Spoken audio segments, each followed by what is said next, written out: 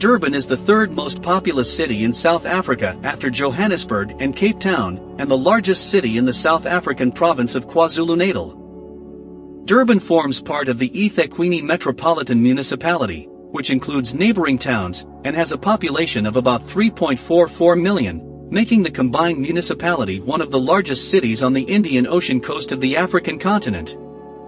Durban is located on the east coast of South Africa, looking out upon the Indian Ocean. The city lies at the mouth of the Umgeni River, which demarcates parts of Durban's north city limit, while other sections of the river flow through the city itself. Durban has a natural harbor, Durban Harbor, which is the busiest port in South Africa, and is the fourth busiest in the southern hemisphere. Archaeological evidence from the Drakensberg Mountains suggests that the Durban area has been inhabited by communities of hunter-gatherers since 100,000 BC. These people lived throughout the area of KwaZulu-Natal until the expansion of Bantu farmers and pastoralists from the north saw their gradual displacement, incorporation, or extermination. Oral history has been passed down from generation to generation by the Zulu nation about the Thabethe tribe, who were inhabitants of the land before colonizers, but there is no written history of the area until it was sighted by Portuguese explorer Vasco da Gama, who sailed parallel to the KwaZulu-Natal coast at Christmastide in 1497 while searching for a route from Europe to India. He named the area Natal, or Christmas in Portuguese. In 1686 a ship from the Dutch East India Company named Stavenisse was wrecked off the eastern coast of South Africa.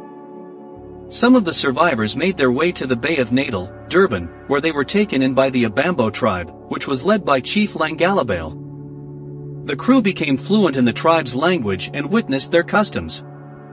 The tribe told them that the land where the Abambo people lived was called Embo by the natives, and that the people were very hospitable. On October 28, 1689 the Galliot Nieuwert traveled from Table Bay to the Bay of Natal to fetch the surviving crew of the Stavenisse, and to negotiate a deal for purchasing the bay. The Nieuwert arrived on December 9, 1689, whereafter the Dutch Cape Colony purchased the Bay of Natal from the Abambo people for £1,650. A formal contract was drawn up by Lawrence van Swanswyk and signed by the chief of the Abambo people, with the crew of the Stavenisse acting as translators. Durban was subject to restructuring of local government.